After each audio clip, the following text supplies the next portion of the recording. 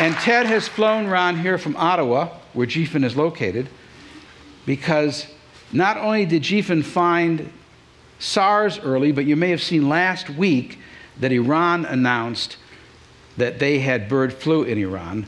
But GPHIN found the bird flu in Iran, not February 14th, but last September. We need an early warning system to protect us against the things that are humanity's worst nightmare. And so my TED Wish is based on the common denominator of these experiences smallpox, early detection, early response, blindness, polio, early detection, early response, pandemic bird flu, early detection, early response. It is a litany. It is so obvious that our only way of dealing with these new diseases is to find them early and to kill them before they spread. So, my TED wish is for you to help build a global system, an early warning system to protect us against humanity's worst nightmares.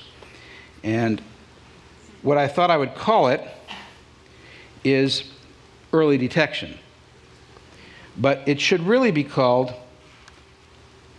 total early detection. what?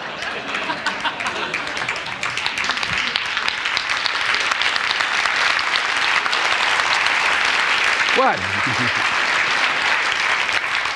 but in all seriousness, because this idea is birthed in TED, I would like it to be a legacy of TED, and I'd like to call it the International System for Total Early Disease Detection.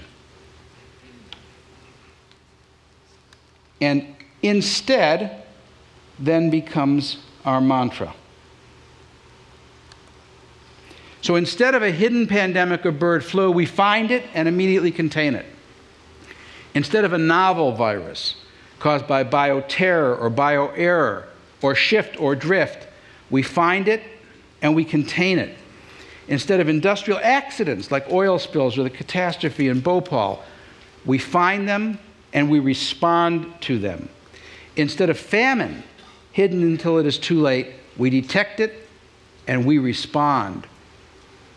And instead of a system which is owned by a government and hidden in the bowels of government, let's build an early detection system that's freely available to anyone in the world in their own language.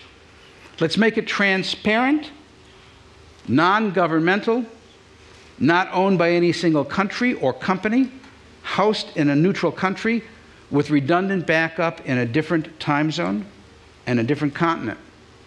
And let's build it on GPHIN. Let's start with GPHIN. Let's increase the websites that they crawl from 20,000 to 20 million. Let's increase the languages they crawl from 7 to 70 or more.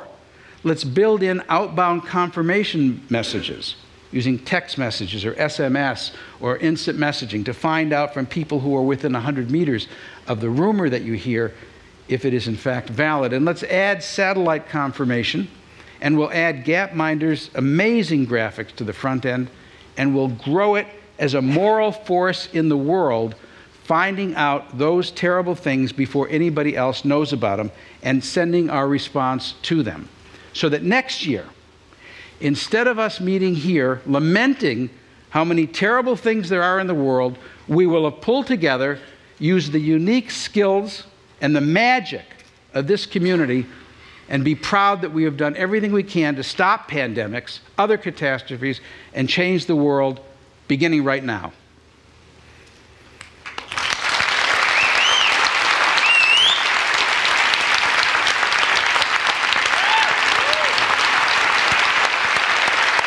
That's incredible.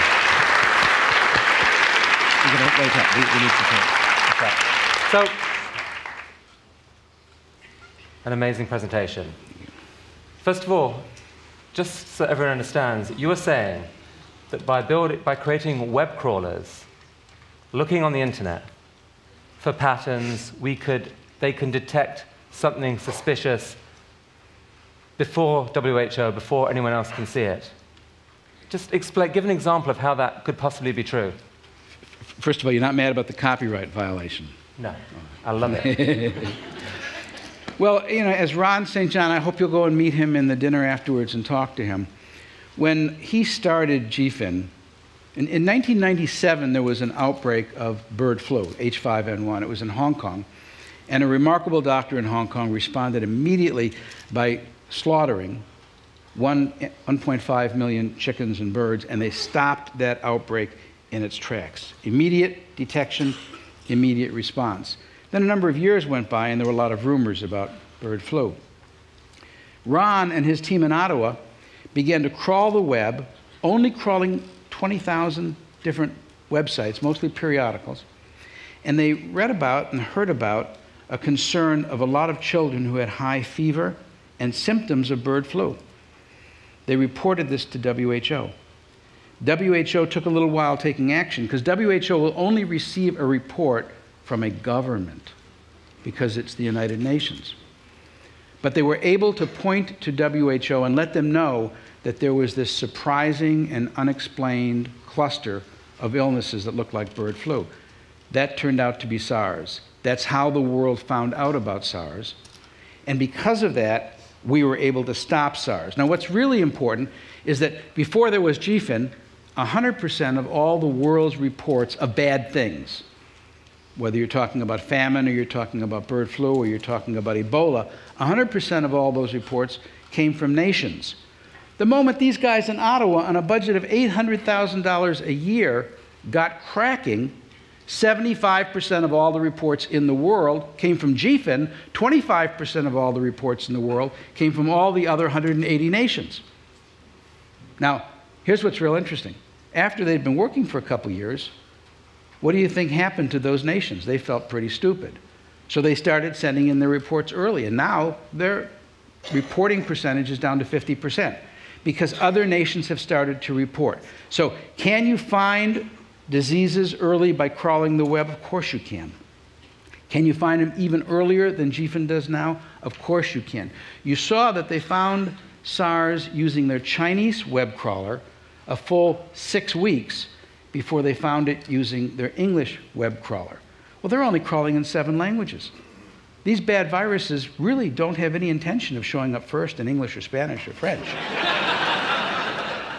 so, yes, I want to take GPHIN, I want to build on it, I want to add all the languages of the world that we possibly can. I want to make this open to everybody so that the health officer in Nairobi or in Patna, Bihar, will have as much access to it as the folks in Ottawa or in CDC.